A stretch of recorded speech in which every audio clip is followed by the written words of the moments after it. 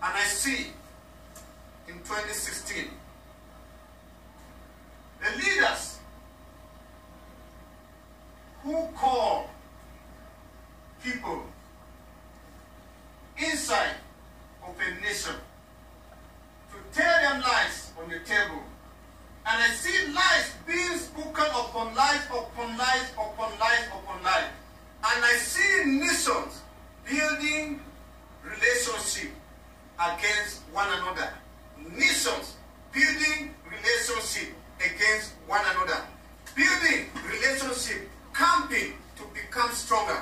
And they say that is our enemy. And I other nations gather themselves together and they stand. And I hear rumors. And I hear rumors. And I see the suffering people without God. And a people who are lost. And a people who are needing help. But they are stuck because no one is able to help.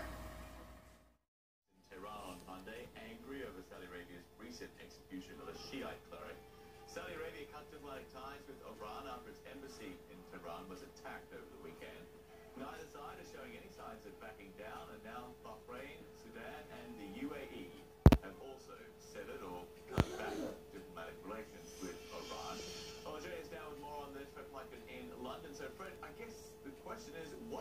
move here for the Saudis? What happens next? Well, for the Saudis, uh, we're going to have to wait and see whether they're going to continue to up the ante. It was very interesting uh, since they cut their uh, diplomatic ties on Sunday to see what they did on Monday, and then to see them actually continue uh, to escalate the situation, where the Saudis came out and said that they believed that it was the Iranians who were undermining the security of Saudi Arabia. Of course, on the one hand, uh, with uh, the uh, the uh, storming of the embassy in Tehran, but also, of course, with some of the political moves that the Iranians have been making in the region. The Iranians then uh, cut off economic ties, stopped flights between uh, Iran and Saudi Arabia, also banned Saudi citizens uh, from going uh, to Iran, still allowing Hajj pilgrims from Iran, from Iran uh, to come to Saudi Arabia. So we'll wait and see whether there's more escalation and whether other uh, predominantly Sunni countries will also join the Saudis in also cutting off ties, John. Fred, we're also expecting a news conference from an Iranian government uh, official. I I guess you, you've been to, to, to Iran a lot. How often do these guys actually hold news conferences, and, and what are we expecting from this? Well, it's a fairly it's a fairly regular occurrence to have news conferences by the government, specifically also by the foreign ministry as well. So it is something that does happen on a regular basis. Now, it's interesting to have seen the reaction that came out of Tehran. On the one hand, of course, you still have the demonstrations that are going public anger at the execution of the prominent Shia cleric Nimr al-Nimr, which in many ways, of course, is what set off this diplomatic row in the first place.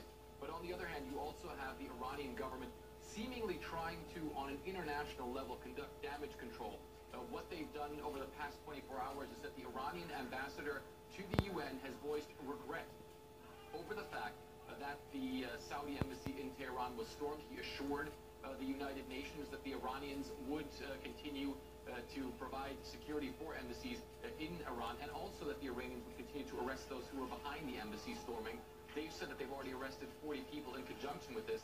And I can tell you from monitoring uh, Iranian state media that there are other top-level Iranian politicians, not the least of which is the president of the country, who has also condemned the fact that the embassy was stormed. So clearly, the Iranians, while on the one hand still very much taking a hard line vis-a-vis the Saudis, uh, are also, um, to a certain extent, acknowledging that the storming of the embassy is not something that was in their interests.